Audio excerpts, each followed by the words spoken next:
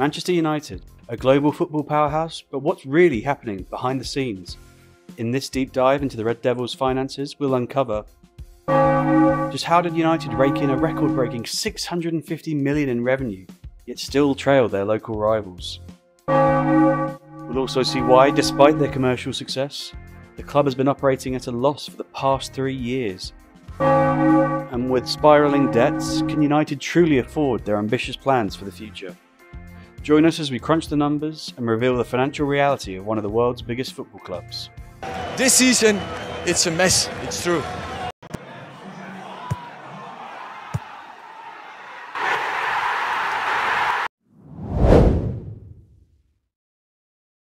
United's top line has been a rollercoaster, consistent growth from 2015 until COVID disrupted the trend. But the Red Devils are soaring again. In 2023, they achieved their best ever revenue performance, raking in almost 650 million.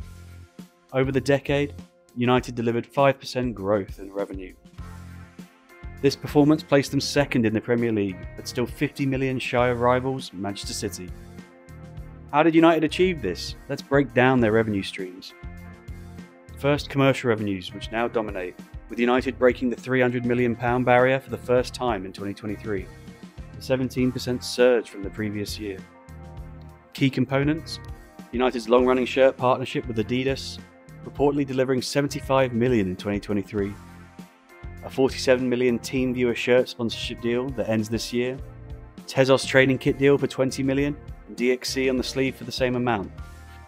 Beyond these headline deals, United secured another 141 million across sponsorship, retail, and licensing deals. In July 2023, United extended their Adidas deal, increasing its value to 90 million for seasons in the Champions League and 80 million otherwise. There's also a change on the shirt front. Qualcomm's Snapdragon taking over with improved terms at 60 million a year. These two deals alone could add another 30 million to United's coffers, proving their commercial powerhouse status remains strong. Next, broadcasting revenues, which brought in 209 million, six down from the previous year, and over 30 million behind their 2019 peak. Let's compare these figures to understand the drop off.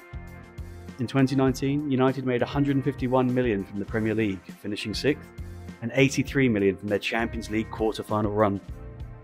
Fast forward to 2023, Premier League revenues jumped to 178 million due to a higher finish and increased TV rights value. However, competing in the Europa League instead of the Champions League cost United over 50 million, with 2023 seeing less than 29 million from European competition. In 2024, United will see a boost from Champions League football, but they are back in the Europa League this coming season, so broadcasting revenues will continue to fluctuate. Finally, matchday revenues hit an all-time high in 2023, generating 136 million. This was fueled by Europa League football and runs to both FA and League Cup finals, winning the latter. United played an astounding 33 home games, plus three trips to Wembley.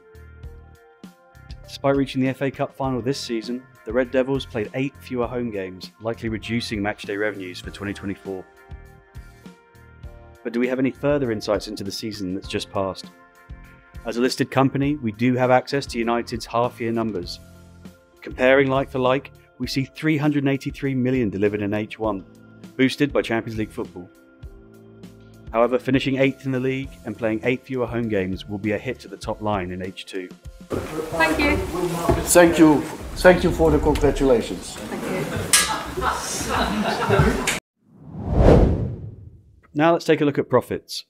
The bottom line remained in the black until 2020, but the last three years have been in the red. 2023 showing an 11 million operating loss. I always think the proof's in the pudding. What's behind this decline? Let's address this in our P&L walkthrough. Let's set the timer, grey out the revenue, and dive into staff costs. Wages have fluctuated, increasing until COVID, followed by sharper growth. 2023 saw a 14% reduction in the wage bill to 331 million, possibly due to lack of Champions League bonuses and Cristiano Ronaldo's mutually agreed departure. Over the decade, wage growth mirrored revenues at 5%, and as a proportion, they accounted for 51% in 2023, one of the healthier positions in the league, never exceeding 70% across this decade. How did this translate to points on the pitch? United's inconsistent form meant volatile wages per point prices. Their most efficient season, 2015's fourth place finish, with points costing under 3 million. But 2022's sixth place finish and peak wages saw that price skyrocket to almost 7 million a point. But after factoring in staff costs, United still has hundreds of millions to manage. Next, operating expenses. These followed a similar trajectory, ramping up, COVID disruption, then greater acceleration. In 2023, these rose to 161 million. The major cost buckets matchday costs of 38 million, up 50% due to the 33 home games. Utilities and property maintenance at 34 million. Then commercial costs, logistics and travel, and perhaps surprisingly, legal fees at over 18 million. That leaves 29 million of other costs. An additional hefty expense, though absent in 2023, is payouts to sacked managers. The untimely departures of David Moyes, Louis Van Gaal, Jose Mourinho, Ole Gunnar Solskjaer, and Ralf Rangnick resulted in a whopping 57 million in payouts as the club struggled in the post Sir Alex Ferguson era. Despite these costs, United remained EBITDA positive every year. Third, stadium and facilities. These costs have steadily increased, reaching 15 million in 2023. With a 50 million training ground upgrade on the cards and potential billions for stadium redevelopment, these costs could rise significantly in future years. Finally, we move on to transfer fees. Heavy investment has been a constant, rising since 2019 to reach 152 million in 2023. While some signings succeeded, many expensive acquisitions have failed to deliver returns on the pitch. This has pushed United into the red for the last three seasons. But of course, uh, at the moment, that's uh, it's a difficult uh, time for us. But what about financial fair play? Due to the lack of funding from the Glazers, United's maximum losses in this three-year spell is just 15 million. Starting with operating profit, we add in United's massive interest charges to get losses before tax. Then certain costs, such as youth development and women's football, can be excluded, as well as adjustments for COVID related income loss. These aren't disclosed, so we are estimating. We're assuming 35 million a year in allowable costs, plus 70 million of COVID impact in 2021 and 25 million in 2022. Add those back in and we get to United's PSR result. 6 million of losses, within the threshold. But what about 2024?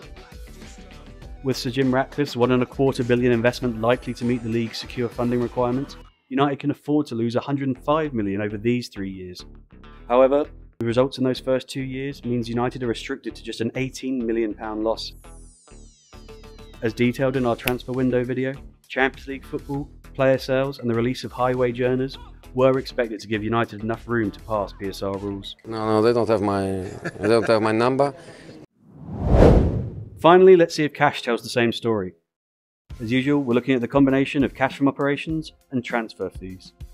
Cash from operations, driven by EBITDA items, is in full swing.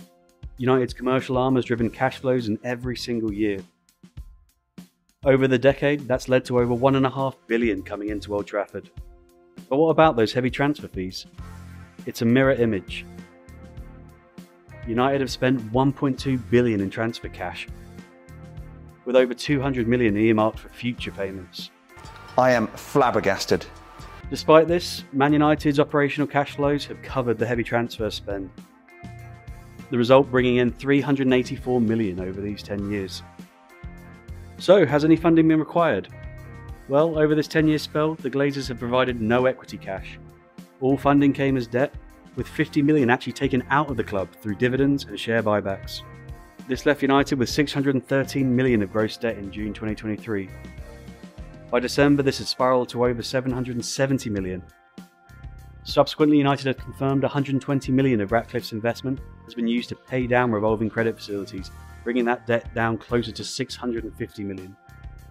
With billion pound infrastructure projects, a large gap to close on their rivals, and new football leadership, can Manchester United secure the resources to achieve their goals both on and off the pitch? Only time will tell.